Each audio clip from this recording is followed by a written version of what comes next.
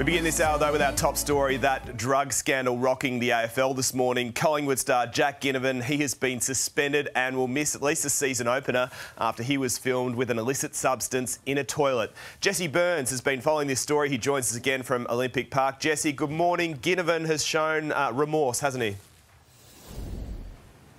Yeah, he certainly has. And good morning to you, Clint. The Collingwood Star releasing a statement via his Instagram overnight, and I want to head straight to it. In this statement, he says, I understand that as an AFL player, I have standards I need to meet, and on this occasion, I've fallen well short of the standards expected of me as a footballer and as a representative of, Collingwood. It's the last thing that the club and indeed Jack Ginnivan would have wanted.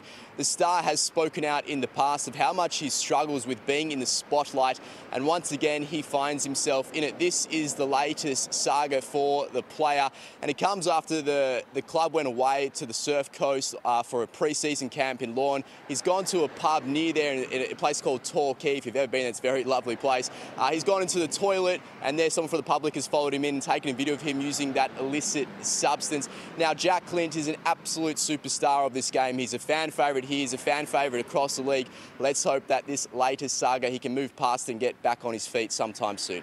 Jesse Burns in Melbourne, thank you.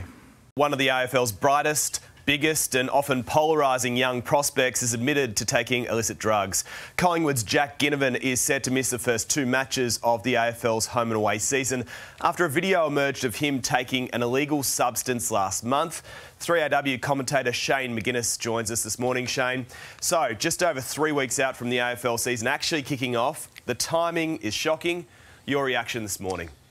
Uh, good morning to you, Clint. I think disappointment and frustration that an AFL player has again found themselves in this situation given all the education that they receive around illicit drugs. You mentioned the timing, less than a month out from the start of the AFL season. Collingwood, of course, one of the uh, favourites for this year's premiership on the back of an outstanding season last year. They have a new captain in Darcy Moore. This is his first big challenge addressing Jack Ginnivan. Uh, the, the, timing certainly isn't great, um, but I think, it, it, again, it's that frustration at seeing another AFL player using illicit drugs when the education is certainly there. Shane, it's worth noting the Today Show has seen this vision but decided not to show it. Um, it does actually illustrate Ginnivan in a toilet cubicle with this white substance. The Pies forward has fessed up. He had no other option to do so, though. Oh no, absolutely not. As soon as vision of this comes out, um, you know, you, you, kind of put on the, the, back foot and you have to do something about it. Now, granted, Nine uh, and other media outlets have shown not to show it at this point in time.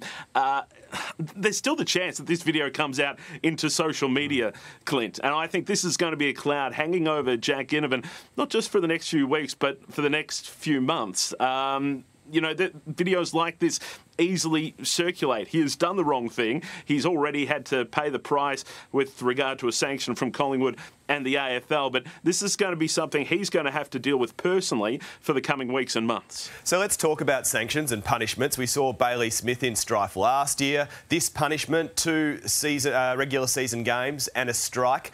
The fine suspended. Is it enough? Absolutely not. It's insipid. Uh, we saw two weeks for Bailey Smith. We saw two weeks previously for Shane Mumford, and we see two weeks on this occasion. A $5,000 fine suspended. So what's the point? He hmm. only that $5,000 fine is only activated if he's seen using illicit drugs again. You would hope he learns the lesson on this occasion. Let's remember, these players are role models. They represent the Collingwood Football Club, its sponsors, his teammates. It is a shocking look, not only for himself, for the club, and for the game. And to think that it only comes with a two-week sanction, what about, I think is ridiculous. What about the AFL's drug policy then? Is this called into yeah. question also?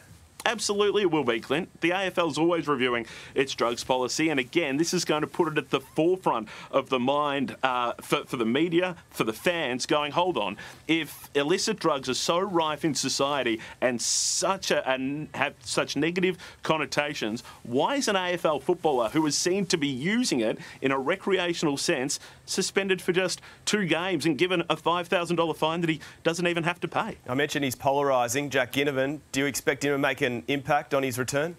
Oh, he definitely will. That, look, he, he showed remorse. There's no doubt about that. He was certainly contrite in what he had to say last night. He owes his club. He owes his coach. He is a fantastic player. We saw that last year. Came away with the Anzac medal. He is still young. He made a stupid decision.